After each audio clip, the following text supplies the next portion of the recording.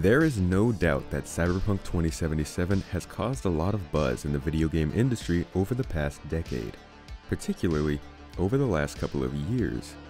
But a lot of people have very different reasons for being so excited for this game, and there are many attempts to explain exactly why. While just as many people are confused about the hype, as it seems like any other big game to them. Some have been asking for years now. Of course, the occasional fan or journalist will tell you you need to be hyped for the game. As your dutiful tomato, I'm going to take some time here to explain what it is that has people so excited for this game and give some insight on my own personal reasons, because I am also incredibly hyped. If you enjoy this content and want to see more quality videos covering Cyberpunk 2077 and sci-fi gaming in general, then make sure to subscribe to Space Tomato. And thank you for coming to this Tomato Talk.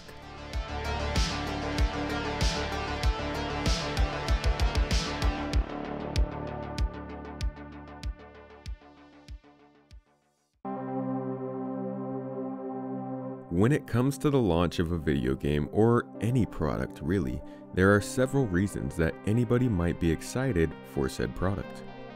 This is why you generally can't lump all fans of something into a single pile. Looking at Cyberpunk 2077, there are four main groups of fans looking forward to this game. Let's take a look at each of their arguments.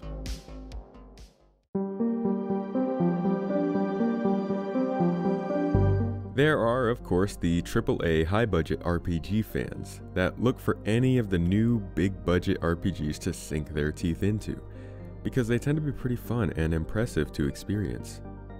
These people might also be pumped for a new Elder Scrolls or a proper Fallout game, a proper Dragon Age game, or a proper Mass Effect game. Assassin's Creed Valhalla, Outer Worlds, etc., etc., etc some people are hooked to the RPG genre, and Cyberpunk 2077 isn't particularly a bigger deal than other RPGs, so this group might not be as enthralled in the hype as others, but it's something to be excited about regardless.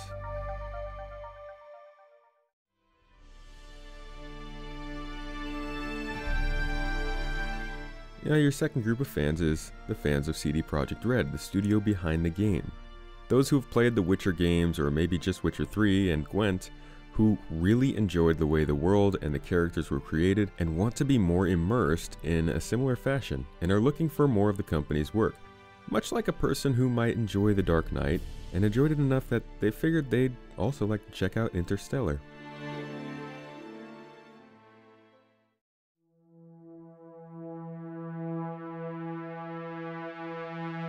Uh, your next group are the fans of the original tabletop RPG, or the second edition, Cyberpunk 2020, which are the basis of Cyberpunk 2077.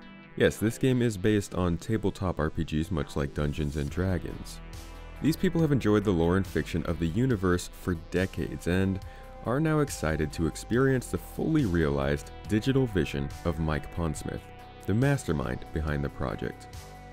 These are most likely the most loyal fans, but also probably going to be the ones who scrutinize the game the most, as they want to see what they grew up with brought to the mainstream in the best possible representation of what they love.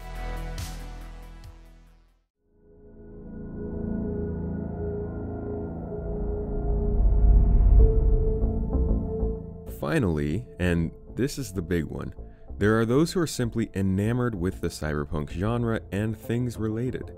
This is the group that I identify with mostly. Those who watch the new Total Recall even though it's not as good as the original because it looks so good. People who continuously play through the Deus Ex series or Observer or sit and stare at concept art for hours.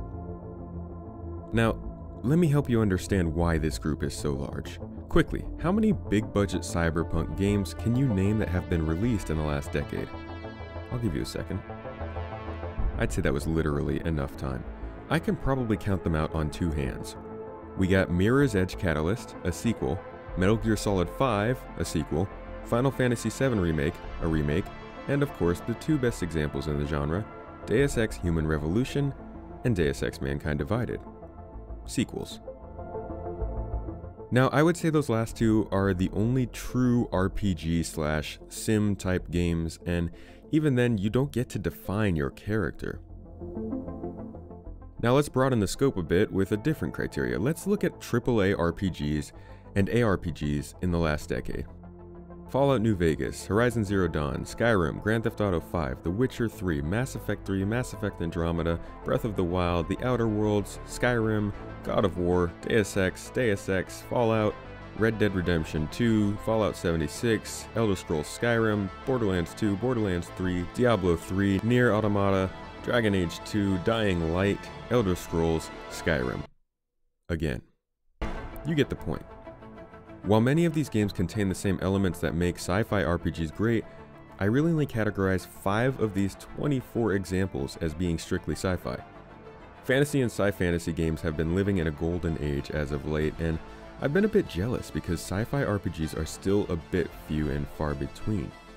That's because sci-fi games generally tend to be shooters nowadays, and some people want to live in a sci-fi world without constantly being forced to kill people. Not only is Cyberpunk 2077 planned to allow that, but players will also be able to model their characters to their heart's content and play a specific role through this character in said world. You know, roleplay. So yes, internet person, it's possible that there is nothing particularly game-breaking that can be said about the game so far. But apart from the Outer Worlds, we've been hurting for a good, proper, big budget sci fi RPG over the last decade, and this is like a love letter to us. There are a couple of candidates on the horizon for strictly sci fi RPGs that could add to this genre, but we'll have to wait and see how they fare. Could 2077 possibly not live up to the hype? For some people, that's almost certain. Seriously, guys, temper your expectations. But as long as it's quality, it will be an absolute joy for fans like myself and I am almost certain there are a lot of fans out there like myself. So when you see people excited for Cyberpunk 2077, remember that not only are there some pretty varied reasons for this excitement, but also a big part of this anticipation is for the genre as a whole. Deus Ex proved that cyberpunk RPGs had a place on the big stage but didn't quite bring it home. Now it's Cyberpunk's turn to pick up the mantle and set the stage for more projects in the genre to gain some attention. Some things like Gamedec or Observer or Low-Fi. Who knows, maybe this will bring out a new Deus Ex eventually.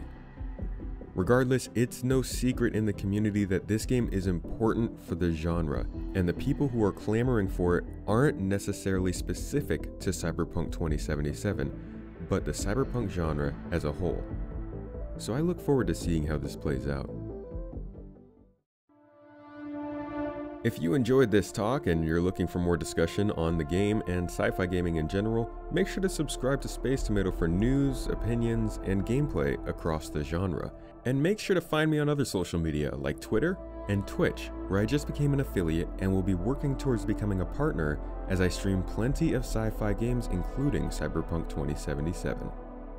I'll catch you in the next video.